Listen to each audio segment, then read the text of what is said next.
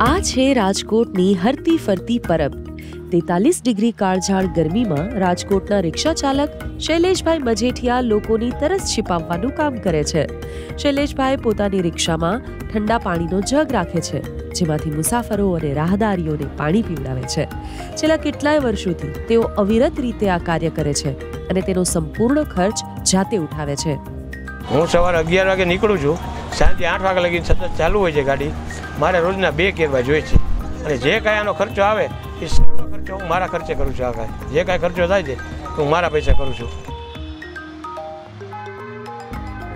કે અમે કાઠ લુવાણા છીએ.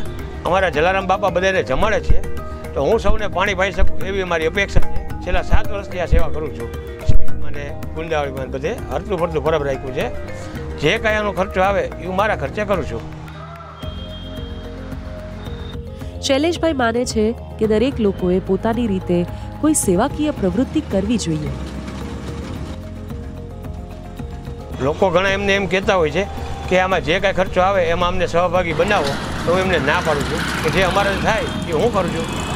અમારી જેમ તમે પણ જે તમારાથી બને એ તમે પોતે કરો તમારા હાથે એ વધારે સારું કરે છે. મારું એક જ કહેવું છે કે જેનાથી જે કાંઈ પણ બને ને, એ સેવા આપે. કારણ કે આપણે ભગવાને માનવ અવતાર આપ્યો છે એ જ એક મોટી વસ્તુ છે આપણા માટે.